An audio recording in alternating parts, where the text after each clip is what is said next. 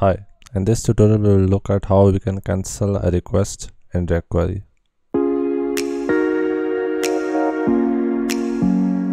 Hi, in this tutorial we will look at how we can cancel uh, the request we made to the server using React Query. Um, a lot of times we uh, make requests to the server but we want to cancel them based on uh, you know some things for example if I make a request and it's too long I would want to you know maybe cancel it and maybe try again. Or maybe the, uh, the request a query is present in a component but when that component unmounts I would want the query to be cancelled. I wouldn't want the query to you know continue going on because um, the component unmounted so I don't really need it. So these are the two scenarios which we'll uh, basically see in this tutorial. One if a query is present as part of a component and that component unmounts we would like to cancel the query.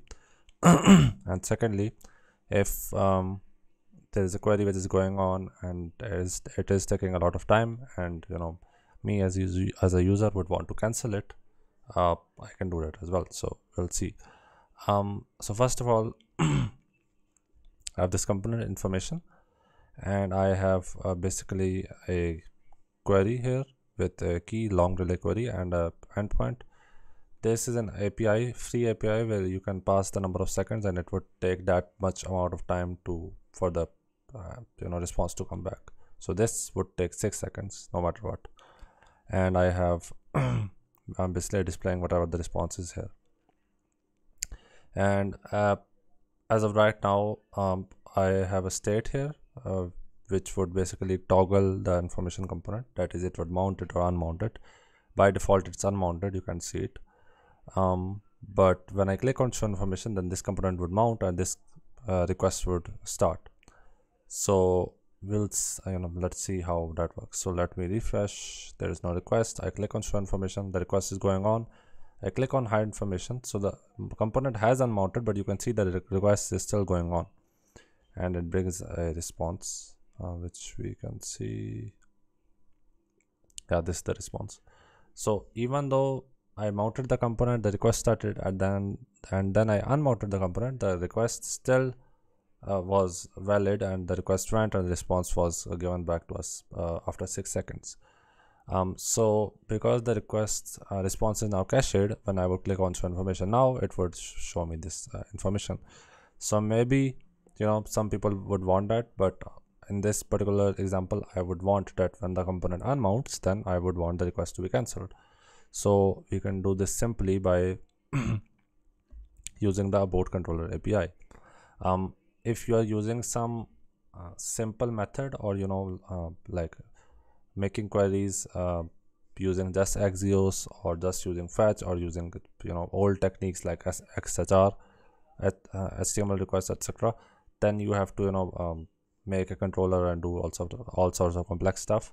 Here you don't have to do that. Abort controller api is basically an api given by the browser so that we can cancel requests.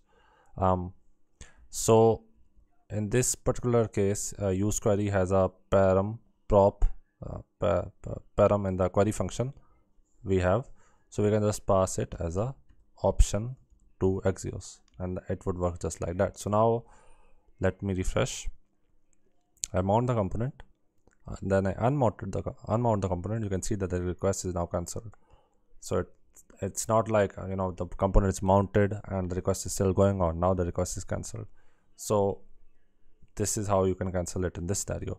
Now this was automatic cancellation in a way that it automatically detected that the you know component is unmounting. So I should stop the um, uh, query or request. But you can also do manual cancellation.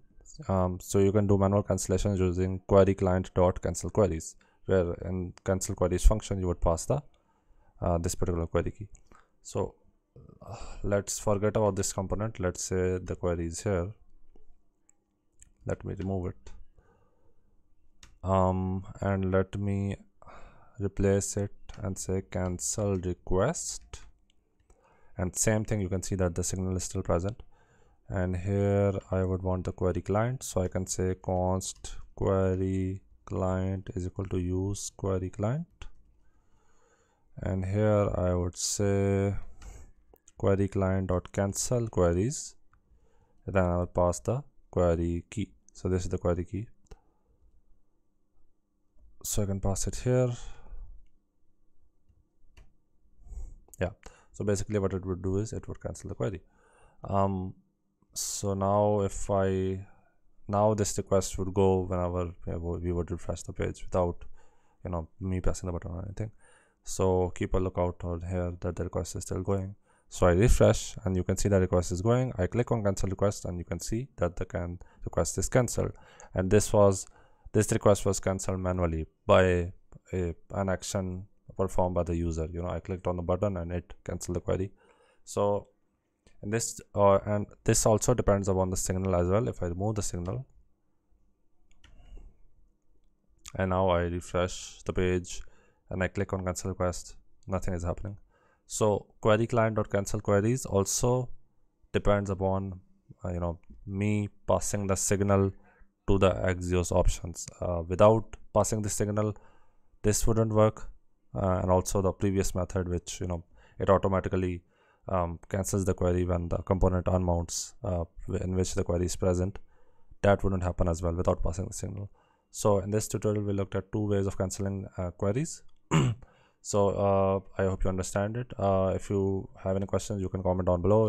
If you have any further requests you can also uh, you know uh, comment down below as well. As always like and subscribe and i'll see you in the next video